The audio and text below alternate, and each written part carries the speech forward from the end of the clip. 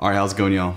Today, we're going to try to saturate two 10 gigabit connections on a DS1621 Plus using basically the NVMe SSDs. Under full disclosure, Synology sent me all of the Synology equipment in this video, basically for testing. I've got to send it back, unfortunately, but none of this I actually purchased and I do have to send back, but it's going to be unbiased as usual.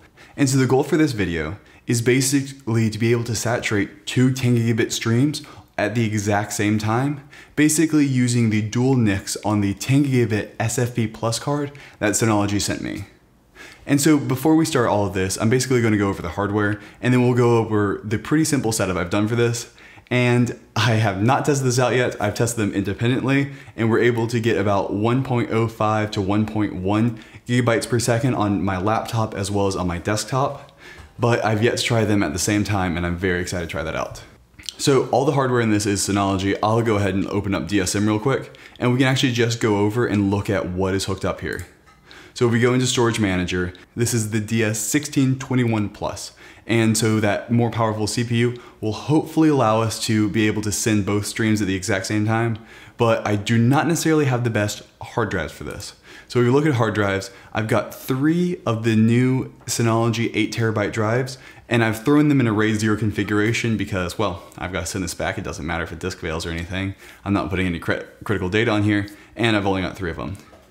But they're in a RAID 0 configuration, and from previous testing, that got me about mm, 600, 650 megabytes per second reading from, which for spinning Rust is pretty good, but nowhere near saturating two 10 gigabit connections. And so to do that, we have these two right here. These are two of Synology's M.2 NVMe drives, and they are very fast, and I'm really hoping they'll be able to.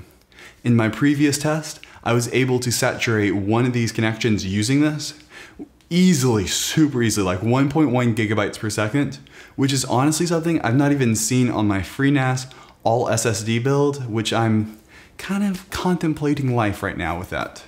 But these things are very, very, very fast. And so clearly the three drives will not be able to handle it, but I've got two of these NVMe drives in a basically SSD cache RAID 0 array. And so I have loaded both the test files on there and I've pulled a couple times to make sure they're fully loaded in cache because, well, I wanna make sure we've got the best possible opportunity for this. And that's basically it for the drives. We can go through and see the SSD cache. We can see there's 167 gigabytes used. Those are from those test files. And you can see I've got a very high hit rate. Well, pretty high. I mean, the, I'll be honest with you, this thing doesn't, this graph to me means nothing. I've never found it to be that accurate. It's like always 100% or zero. Maybe if I had a bunch of people on my network, it would mean something, but I think that's why they're getting rid of it in DSM-7. And so yeah, that is basically the setup for the drives. So now the last thing to check out is the actual networking side of things. And as I said earlier, it's the dual SFP Plus card from Synology. And so I've got this link aggregator right here with two 10 gigabit connections with jumbo frames enabled. And so everything is jumbo frames. My Switch is jumbo frames, my laptop's jumbo frames, my desktop's jumbo frames, my Synology is jumbo frames. So everything is jumbo frames. So that is good.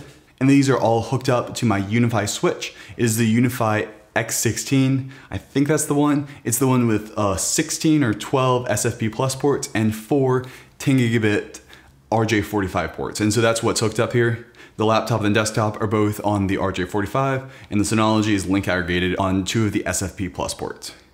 And so that's my setup. It's pretty simple and I've not done any custom configurations with Samba. I actually have not even clicked on this tab yet of file services because it's automatically enabled. I literally have done no configuration whatsoever within SMB. And so we're gonna see if this will work. I do have a couple of doubts on whether or not this will work. I just am worried that a few things will go wrong. Like maybe because we're both signed in with the same user on both machines that Synology will get confused or something like that. Or there's just so many things. I mean, it's two 10 gigabit connections all at the same time, something I've had a lot of trouble getting close to on my FreeNAS build. But we're gonna go ahead and see if it's possible. Uh, my backup plan for this video is if this does not work, I'm going to get two SSDs and make a separate volume and basically use those in RAID 0 to saturate one of the 10 gig connections and then use the NVMe SSD cache to saturate the other one. I hope it doesn't come to that, but I think it might. But that is my setup. What we're gonna do is basically just, I've got the same file copied in two different folders.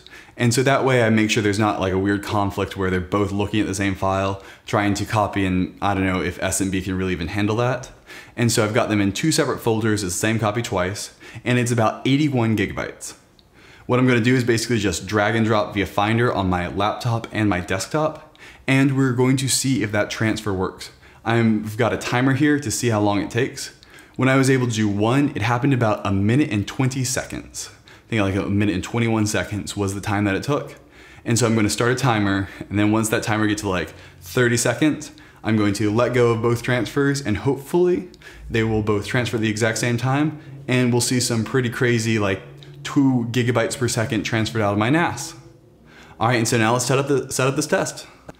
So this is where I'm going to be uh, sending the file to. Then I'm just going to open up the, here's the 1621. I'm going to open this guy up. And on, on my desktop, I'm going to use the subfile test. So I've got two different places. So I'm going to transfer this file, and this is local on my machine. And on my laptop over here, I'm going to do the exact same transfer. All right, so we are basically all ready. I'll go ahead and open up Activity Monitor on both of these. Perfect. And there. I think this is already run network there, network here. All right, so I've got the timer ready and I'm going to probably start it at 10 seconds, assuming I can get everything ready in time. I'm gonna drag this here and this here. Okay, starting the timer. And so at 10 seconds,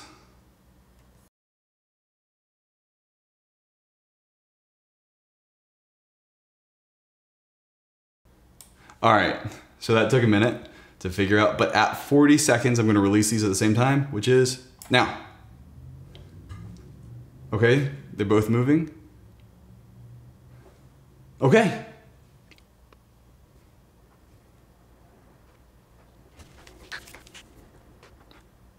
All right, and so from the looks of it, my laptop is being a lot slower than my desktop, which in the individual tests, that was not necessarily true. They were both saturating the one or the 10 gig connection. So I am slightly worried that the screen recording, because I don't have the most powerful CPU, is going to slow this down.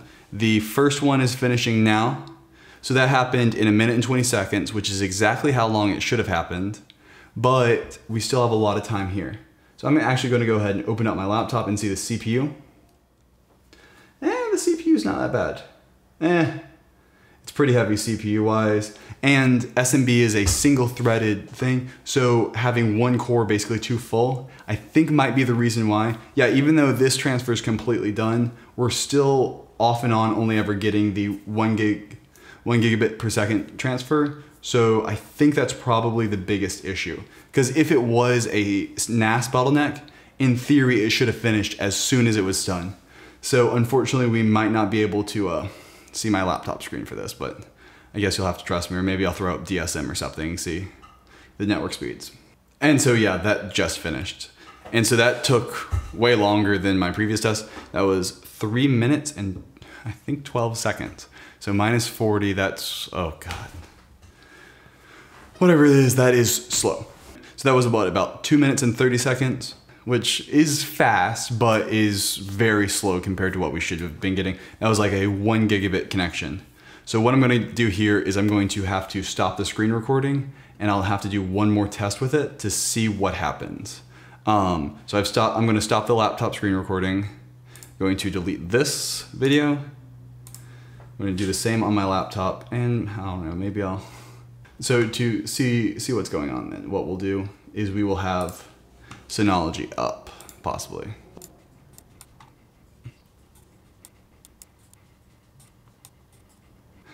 Unfortunately, we don't have the laptop cam, but hey, that's what happens when you don't have powerful enough of a laptop. All right, so at the 10 second mark, I'm going to let go of both of these and we are going to see what the transfers end up being. All right, perfectly at the 10 minute, 10 second mark.